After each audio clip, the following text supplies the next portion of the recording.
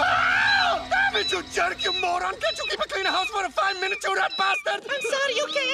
It's not my fault that mice like to come for visits. Ah, but don't just sit there, do something about it.